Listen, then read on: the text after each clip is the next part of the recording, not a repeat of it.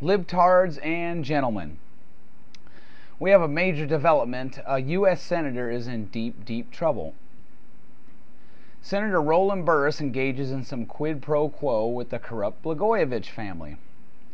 Senator Roland Burris promised to personally do something for Rod Blagojevich's campaign fund while pressing for the then Illinois governor to appoint him to Hussein Obama's former Senate seat, according to a wiretap transcript released Tuesday.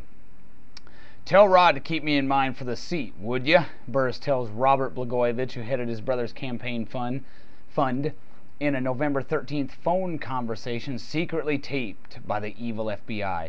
The remark came after Robert Blagojevich urged Burris to keep me in mind, and you know, if you guys can just write checks, that'd be fine. If we can't find a way for you to tie in.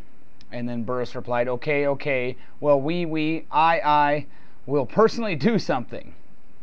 Someone also needs to inform every, everyone's favorite newspaper for lining bird cages with, the New York Times, that Burris and Blagojevich are Democrats. Larry Craig was always identified as a Republican, and so were Ted Stevens, Tom DeLay, and Duke Cunningham. This is a major development, folks. We have an affirmative action appointment to the Senate engaging in gross political misconduct behind the scenes to get a position of power from a corrupt former governor. Roland Burris needs to resign effective immediately, and Governor Quinn needs to call for a special election this fall. If Burris were a Republican, Democrats would be calling for his head, but Burris is a Democrat, an affirmative action appointment to the Senate, and they're worried about this upsetting their quest for a filibuster proof majority.